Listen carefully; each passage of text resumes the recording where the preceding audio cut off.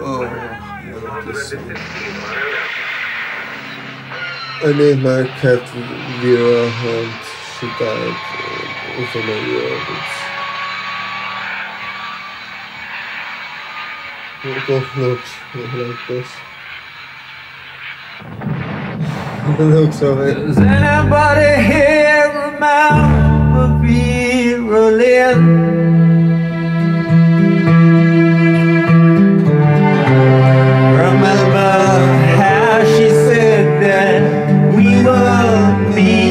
together some sunny day.